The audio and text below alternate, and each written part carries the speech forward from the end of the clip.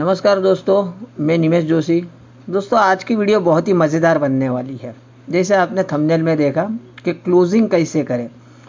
हालाँकि उसके ऊपर मैं पूरा डिटेल वीडियो बनाऊँगा, लेकिन आज मैं जो बनाने जा रहा हूँ, जो वीडियो आपके लिए, वो मैं बताने जा वाला हूँ कि हम क्लोजिंग के टाइम में जो जो बड़ी गलतियाँ करते हैं तो गलतियों पर कैसे सुधार करें और क्लोजिंग हमारा ऑर्डरिंग के साथ कैसे करें। आज सिर्फ़ वो मुद्दे पे बात करेंगे, बाकी टोटल डीप में क्लोजिंग कैसे करेंगे, उसके लिए मैं अलग से एक वीडियो बनाऊँगा। तो जैसे आप देख रहे हो हम दो बड़ी मिस्टेक कर देते हैं क्लोजिंग के टाइम में। एक तो जैसे ही हमारा प्लान हम ख़त्म कर देते हैं, फिर सबसे पहली गलती तो हम कर देते हैं, कुछ क्वेश्चन आंसर करने चालू कर देते हैं। और वो क्वेश्चन भी हम कुछ उस तरीके के करते हैं, जहाँ पर सामने वाले प्रोस्पेक्ट को हमें टालने का या तो मना करने का मौका हम सामने से दे देते हैं। तो एक सबसे बड़ी बड़ी गलती तो ये कर देते हैं।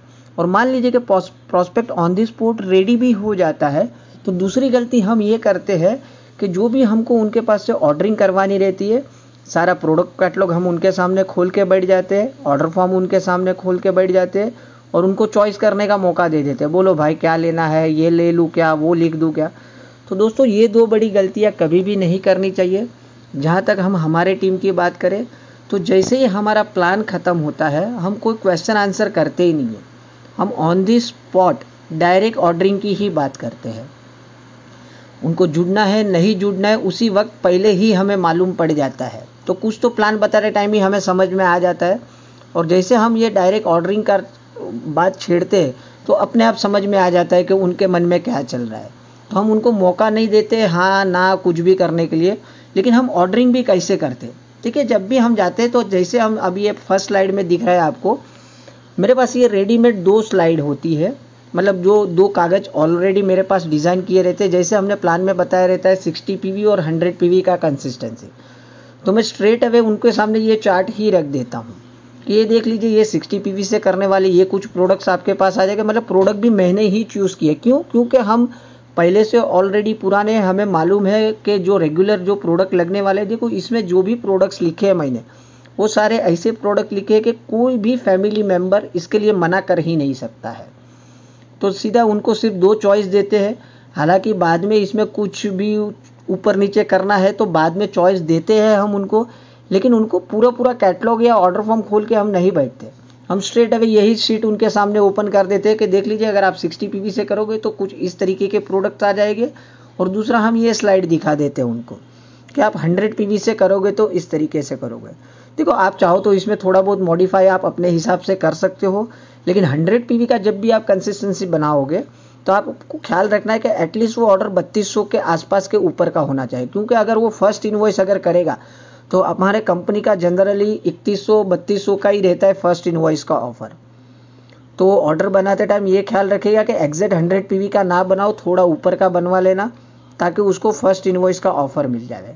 तो ये दो चीज़ आपको हमेशा ख्याल रखनी है कि ऑर्डरिंग डायरेक्ट इसी तरीके से करना है, उसको बाद में चॉइस देनी है। मान लीजिए इसमें से एक आध आइटम वो मना कर देता है कि नहीं बॉस ये अभी फ़िलहाल रहने दीजिए।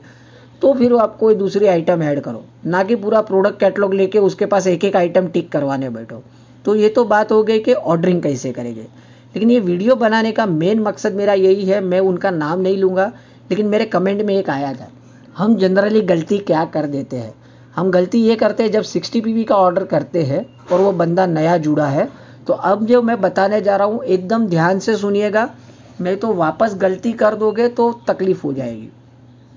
मान लीजिए कि कोई आदमी ने चूज़ किया कि उसको 60 पीवी से ज्वाइन करना है। तो हम जनरली क्या करते हैं? हमने 90 परसेंट लोग ये गलती कर देते हैं, उसका 60 पी का ऑर्डर लेते हैं और 60 पी का ऑर्डरिंग करवा देते हैं। अब वो केस में क्या होता है? वो बंदे को कुछ भी फ्री में नहीं मिलता है, सिर्फ़ उसको 60 पी मिल जाता है और उसकी एक 60 पी की कंसिस्टेंसी गिनी जाती है। लेकिन अब तो नया कानून आ गया है ना भाई मल्टीपल इन्वॉइस वैलिड है। तो क्यों ना 60 पी में भी वो डिस्ट्रीब्यूटर का कुछ ना कुछ बेनिफिट करवा दे हम लोग? तो देखो, हम जनरली क्या करते हैं, ये 60 पीवी में हम सबसे उसके दो पार्ट कर लेते हैं। पहला इन्वॉइस बनाते हैं थर्टी पी के आसपास का, और दूसरा इन्वॉइस बनाते हैं कुछ इस तरीके का जो आपको स्क्रीन में दिख रहा है। तो इस तरीके से करने से क्या होगा? उसका पहले तो थर्टी पी का एक इन्वॉइस बनाया मतलब वो हो गया एक्टिवेट हो गया। अब वो एलिजिबल हो गया है रीपर्चेस ऑफ़र के लिए। तो फिर नेक्स्ट इन्वॉइस हम बनाते हैं। जैसे आप स्लाइड में देख रहे हो, एक इन्वॉइस मैंने 1100 का बनवा लिया, जिससे उसका आईडी एक्टिवेट हो गया, और दूसरा इन्वॉइस मैं अब बनाऊँगा साढ़े आठ सौ का, ताकि उसको वो दूसरा रीपर्चेस का ऑफ़र भी मिल जाए लेकिन अब जो बता रहा हूँ, एकदम ध्यान से सुनना, ये काम आप कब करोगे? जब भी कोई आपका नया डिस्ट्रीब्यूटर सत्रह तारीख के पहले आप ऑर्डरिंग करते हो, नया जुड़ा है, तब ये फ़ायदा होगा आपको। ठीक है? अगर मान लीजिए वो डिस्ट्रीब्यूटर 18 तारीख के बाद जुड़ा है 17 के बाद जुड़ा है और रीपर्चेस की ऑफ़र नहीं चल रही है और उसने 60 पीवी किया है तो उस टाइम में मेहरबानी करके दो पार्ट मत करना, नहीं तो उसका कंसिस्टेंसी नहीं गिना जाएगा। क्योंकि कंसिस्टेंसी का कानून ये है कि दो से लेके बारह तारीख तक करना है और अगर कोई नया डिस्ट्रीब्यूटर जुड़ा है तो वो बारह तारीख के बाद भी सिक्सटी पीवी करेगा तो चलेगा। लेकिन उसकी कंडीशन ये है कि फिर उस वक्त वो इन्वॉइस सिंगल इन्वॉइस होना चाहिए। तो देखो, मैं दोनों तरीके अभी बता देता हूँ, नहीं तो कल उठ के कमेंट में बहुत सारे, नहीं तो बाद में एक महीने बाद मुझे गालियाँ देंगे कि, सर, आपने बोला था, हमने दो इन्वॉइस बना दिया। अब ना तो उसकी कंसिस्टेंसी गिनी गई, ना उसको फ्री प्रोडक्ट मिला। तो देखो फ्री प्रोडक्ट का अगर आपको बेनिफिट 60 पी में उसको देना है और कंसिस्टेंसी का भी बेनिफिट देना है तो वो इन्वॉइसिंग आपके 17 तारीख तक ही बनने होने चाहिए। और अगर 17 तारीख के बाद आप कर रहे हो तो आपको दो इन्वॉइस स्प्लिट नहीं चलेगी, फिर तो एक सिंगल इन्वॉइस ही करना पड़ेगा।